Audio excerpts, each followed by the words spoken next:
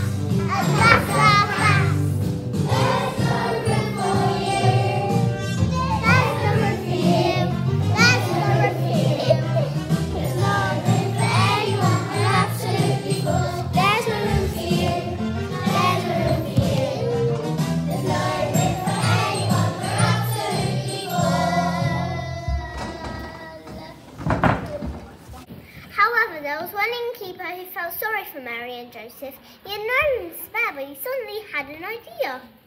You can use my stable. I just put in Wi-Fi too.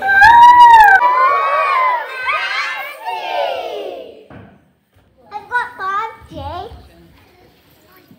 Thank you. Growl did like the sound of this. Stables were for animals like him.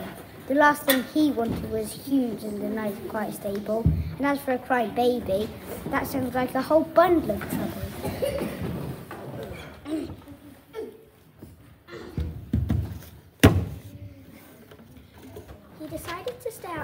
Outside where he could whinge and moan to himself in peace.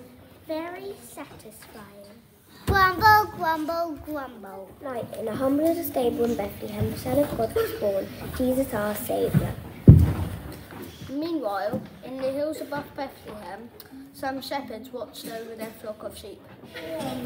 You might have heard of us too. The sheep were being very naughty. Being naughty is one of the things that sheep are very good at, along with le- leaping over fences and knitting.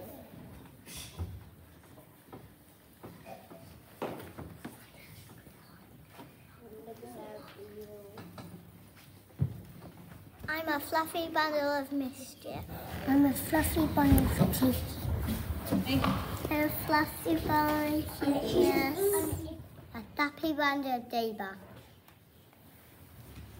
diva. Hackney, Together we are naughty sheep. action. It was bedtime, and they really didn't want to go to sleep.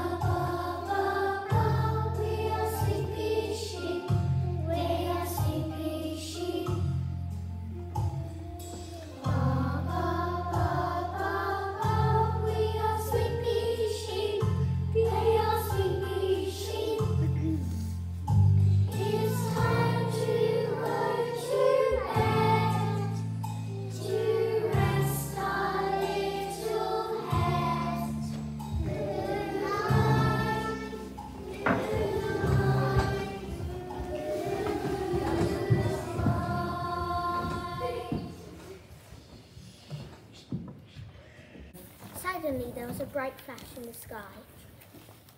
The shepherds were terrified and fell to the ground, covering their eyes, wondering what was going to happen. Don't be scared, transsurgents. I mean no harm. Angels, take out my new wings. I saw on TikTok. Anyway, the angel Gabriel had appeared. He was God's messenger and had important news for them. I bring you great tidings and great joy. A king is born tonight. Jesus, the son of God.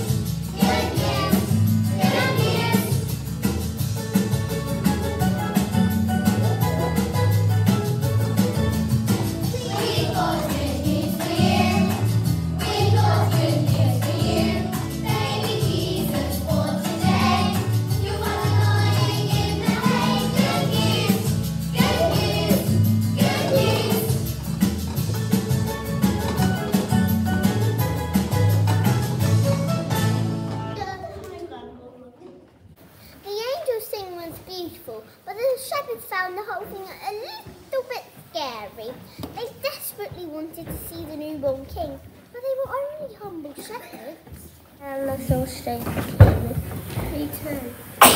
My toes trembling. They decided that they wanted to take a gift to the newborn king. But they're only poor shepherds. What could they possibly give him?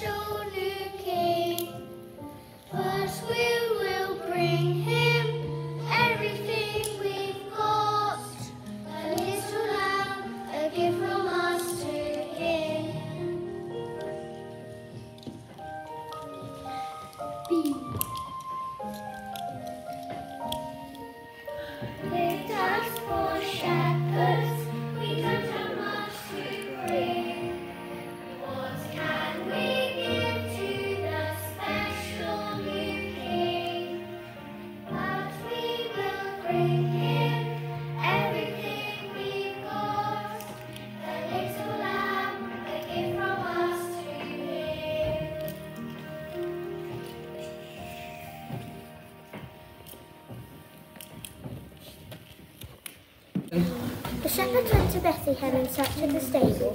When they found it, the shepherds were nervous all over again. Roll the baby lamb. Grumble the donkey was cross Snooze had been rudely interrupted.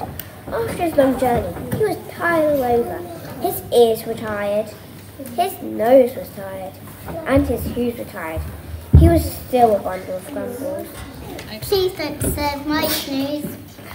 One, two, two and a half, three. Travelling across the desert came three people who were far from poor and humble. There's a good chance you've heard of them too. They were very wise kings and had been following a star from the east for a long time. I know, what's the stuff? I know lots of stuff about lots of stuff. They are very important things. Star the kings were following was very big. They knew that it would lead them all the way to the special baby, the Son of God. Follow me. Surely the baby won't be born in the stable. Suddenly, they found themselves full of doubt, and kings, probably because they are very important, are not used to feeling doubtful. You should know your king. I'm the king, you're the king. Grumble the donkey scowled at this next set of visitors to disturb his snooze. Ha ha, here he is. We are very important kings.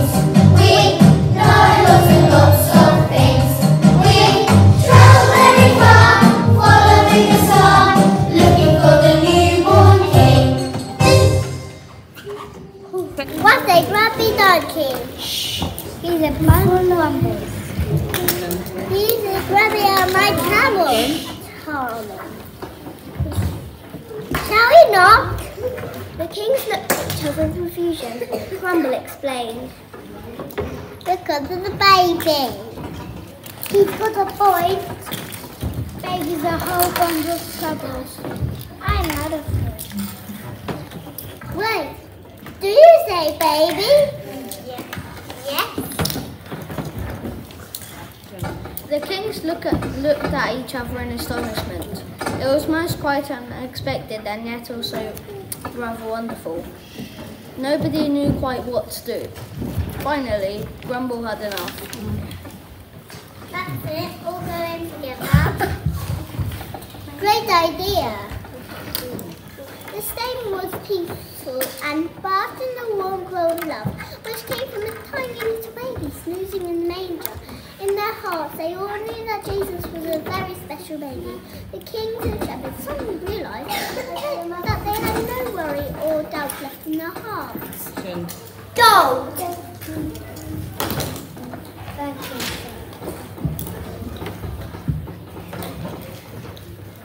Ma.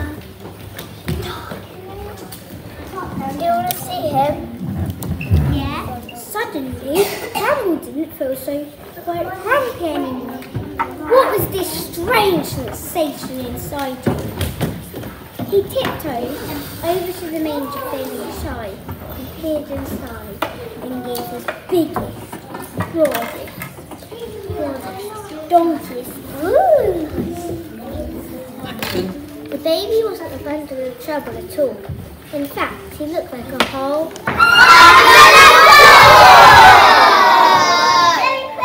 Disappeared as he looked around. He realised that everyone else felt it too. They felt it in their ears, they felt it in their noses, and they felt it in their hooves. But most of all, they felt it in where it, it where it really counts in their hearts. Everyone in that humble little stable was filled with wonder, love, and joy. And from that day on, Grumble realised the true power of joyfulness.